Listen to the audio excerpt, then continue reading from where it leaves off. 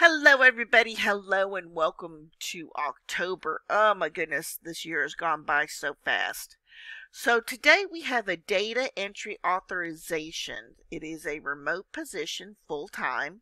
Now, this department you need to know operates seven days a week, including weekends. They have a couple of different schedules. You can do a Monday through Friday, 8 a.m. to 5 p.m a Sunday through Thursday, 8 a.m. to 5 p.m., or a Saturday through Wednesday, 8 a.m. to 5 p.m. And that is all in your own time zone. So some of what you're going to be doing is providing telephone, clerical, and data entry support to the care review team. You will provide computer entries of authorization requests, eligibility, benefits verification, coordination of benefits, and billing codes. You'll respond to requests for authorizations of services submitted by phone, fax, and mail.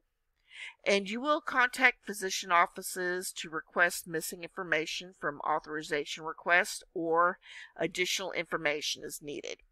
Now, you just need a high school diploma or GED, and they do ask that you have one to three ex years experience in administrative support role in healthcare. So if you have done the call center for a healthcare company, that counts. And Molina Healthcare is um, a very good employer. This is a full time job.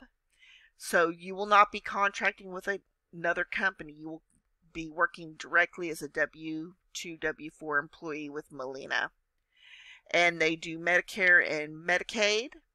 And if you are, this is some phone um, so it, it'll be a little bit of phone. It is a fast-paced environment, so you will have calls back to back. But it is mostly data entry authorizations. So if this sounds like something that is interesting to you, I have the link down below, and I will see you next time, guys. Good luck.